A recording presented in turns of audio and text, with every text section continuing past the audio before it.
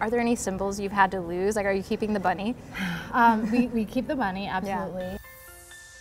Hi, I'm Stephanie Paterik, Executive Editor at Adweek, and I'm here with Rachel Webber, who's the Chief Marketing Officer of Playboy. And we're at Brandweek in Palm Springs, where Rachel's going to be speaking. It's great to have you here. Thanks, Thanks so for joining. for having me. Yeah, so to start, I want to know what are you most excited about that you're working on at Playboy right now? I joined Playboy uh, almost a year ago.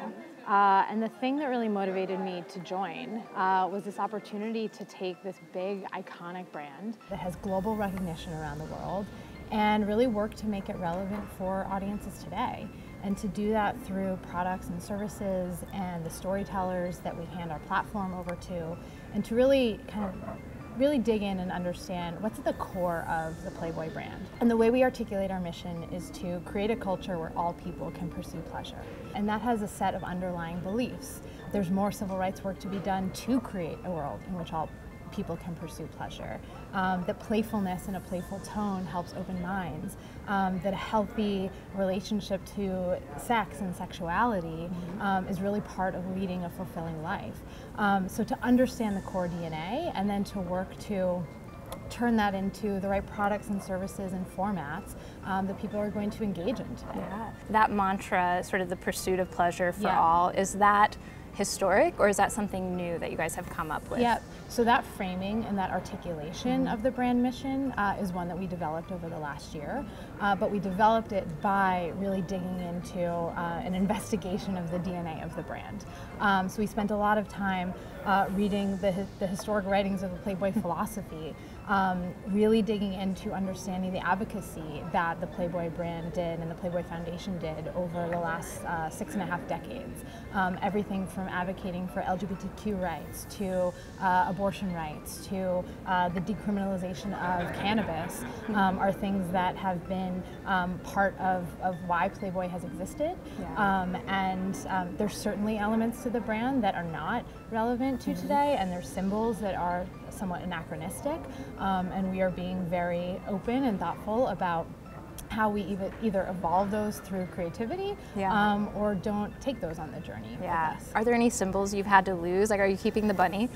um, we, we keep the bunny, absolutely. Yeah. Um, but the role of the bunny is one that we are um, that we're working on, um, and that we work really closely with those who serve in that bunny role um, in our experiences. I'd love to know what innovation you see on the horizon yeah. that has the potential to change the way you're doing business. We think a lot about all innovation that provides more inclusion mm-hmm. um, and more representation.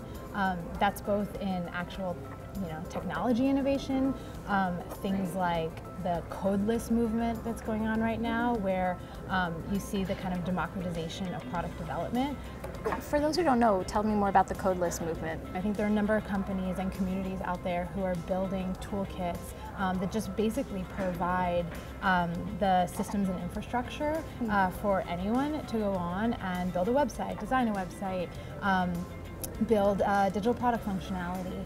Um, so it's less about having to actually learn to code, um, and it's more about um, here's the um, kind of sandbox to play mm-hmm. in, um, and then they can build upon that. That's really cool. So for a brand, you can bring community into the building of the product, not yeah. just the consumption of it. So here's a hard question, yeah. but what keeps you up at night? You know, I think that uh, in today's day and age, when you have uh, one of the world's most iconic brands, um, and really any brand for that matter, uh, in a world of social platforms and um, both digital and experiential touchpoints, every single touch point that uh, you put out there to the world matters in consumers' lives. And it's a, it's a lot to wrangle all of those. Mm-hmm. And, um, you know, particularly when you're going through, um, when you're taking a brand that's been around for 65 years, there's certainly tons of consumer touch points that you're not actively um, creating today.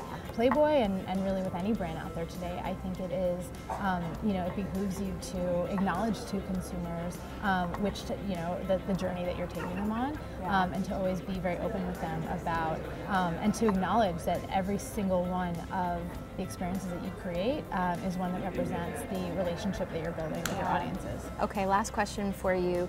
What is the best piece of advice that you've mm-hmm. either received or you've given? The best piece of advice I've ever received was to hire people smarter than you. Um, I think I your, love that. your team is everything. Yeah. Uh, and your ability to um, your the opportunity to learn from your team mm -hmm. also um, is just one of the greatest gifts. Yeah, that's great. Rachel. Webber, thank you so much for joining thank us today. I can't wait to hear you speak. And thank you all for joining us for Top of Mind.